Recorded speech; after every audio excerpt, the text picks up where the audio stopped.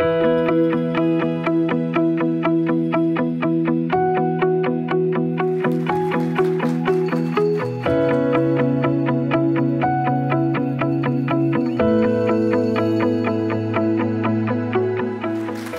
queria dizer que é um grande prazer e quero agradecer a CNC pelo convite que me foi feito de estar aqui nesse dia tão importante para a gente discutir sobre a nova lei sobre igualdade salarial. Vir aqui poder falar de um assunto tão atual e ao mesmo tempo tão importante, encontrar tantas pessoas que estão preocupadas também com o desenvolvimento das relações de trabalho no Brasil, isso para mim foi fundamental.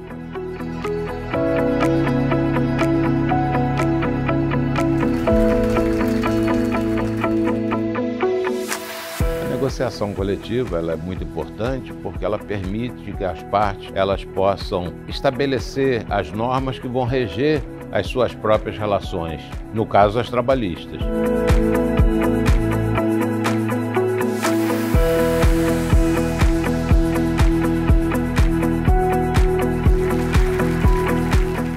Discutindo temas relevantes, estão impactando não só a atividade econômica, mas inclusive a nova forma das relações do trabalho e a gente levando para todas as federações, todos os negociadores, esse conjunto de informações, nós estaremos provocando um efeito multiplicador extraordinário.